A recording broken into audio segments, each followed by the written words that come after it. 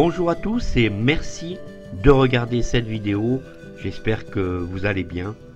Aujourd'hui, on va voir ensemble une vidéo sur les premiers pas sur Mac. Beaucoup de gens ont l'appréhension de se lancer sur Mac par le fait de changer complètement de système d'exploitation. Cette vidéo va vous montrer les premiers pas sur Mac. Lorsque vous êtes allé acheter votre Mac, lorsque vous allez arriver à la maison, vous allez ouvrir votre Mac, on va tomber sur différentes fenêtres. Cette vidéo a pour but de vous montrer le premier démarrage sur Mac. Alors ceci aussi bien sur iMac que sur MacBook, vous allez voir que vous n'allez pas être déçu aussi bien du premier démarrage et aussi bien de l'accessibilité. L'accessibilité, parlons-en.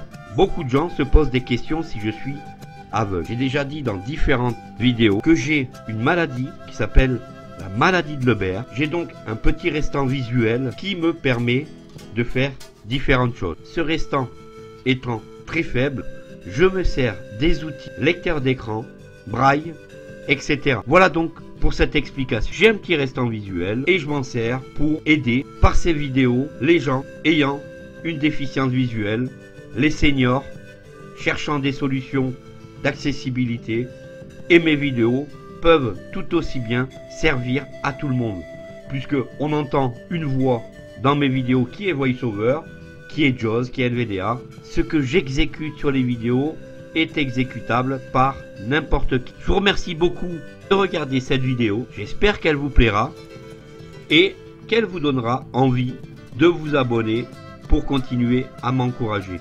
Et surtout, pensez bien à partager cette vidéo au plus grand nombre.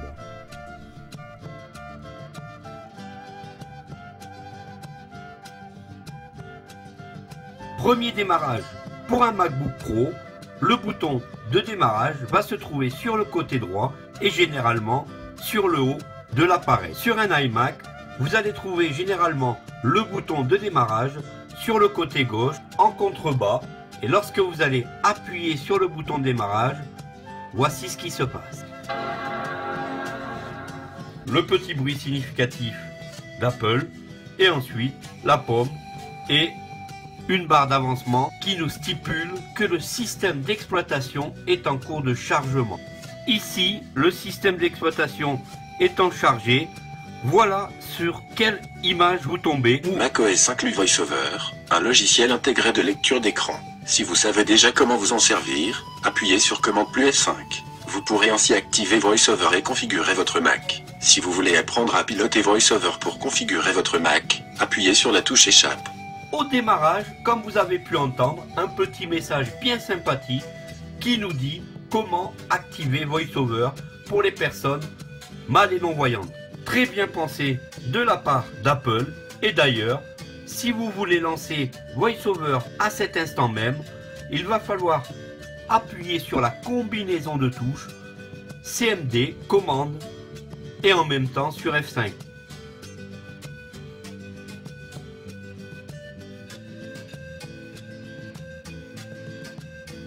Donc en appuyant sur commande F5, ici on va le faire tout de suite.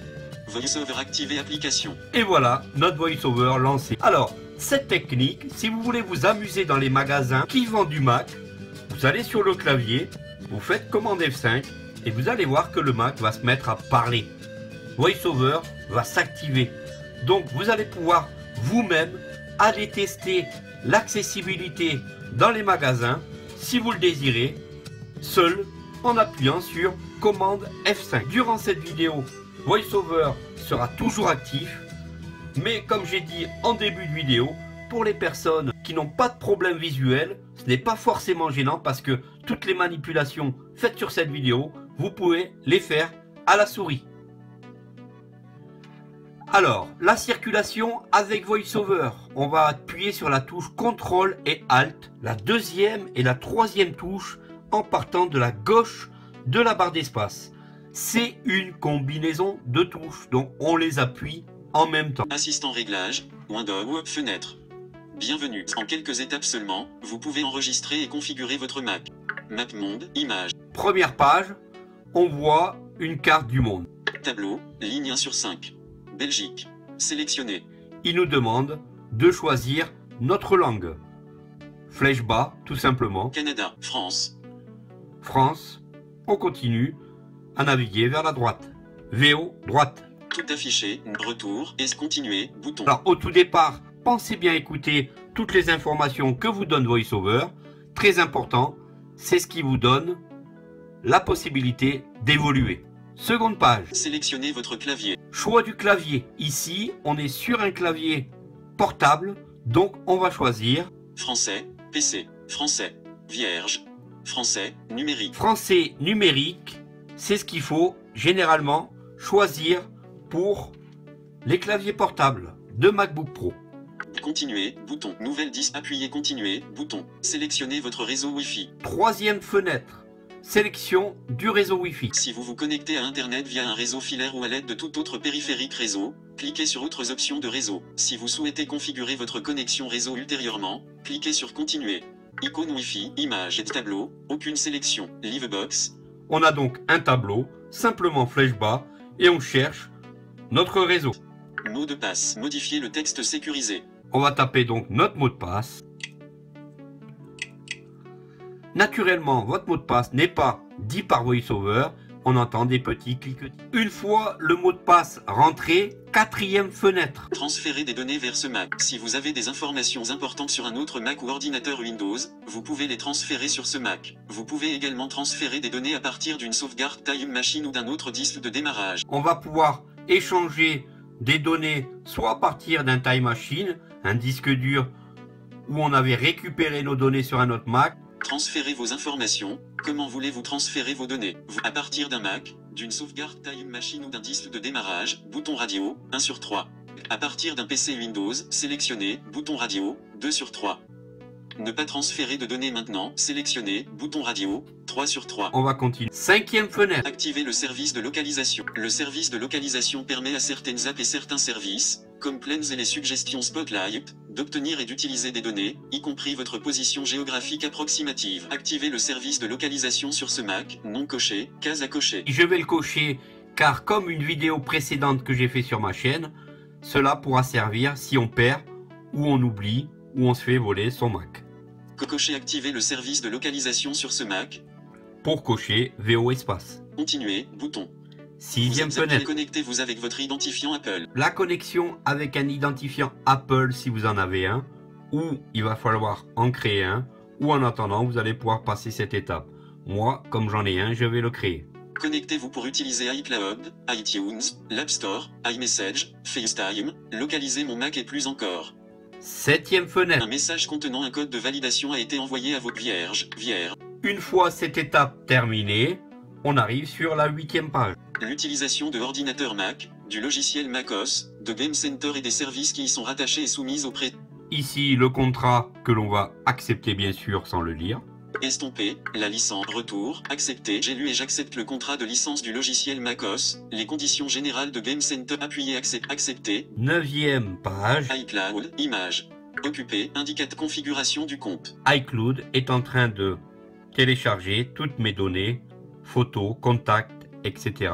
sur ce Mac. Tous vos fichiers du dossier documents et du bureau sont automatiquement chargés sur iCloud Drive et tenus à jour sur tous vos appareils. Dixième page. Tous vos fichiers dans iCloud.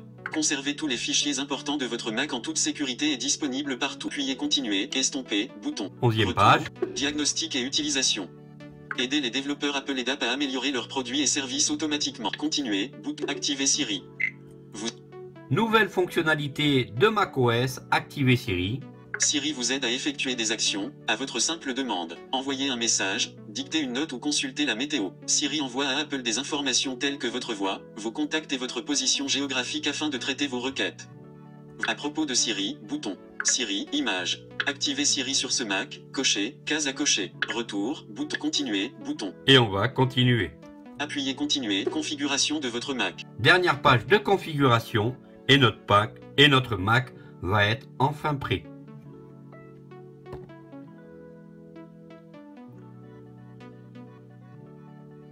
Nous avons donc fini la configuration des premières pages à l'ouverture de votre nouveau Mac. J'espère que cette vidéo vous aura plu. Vous avez pu voir que rien n'est compliqué dès le départ.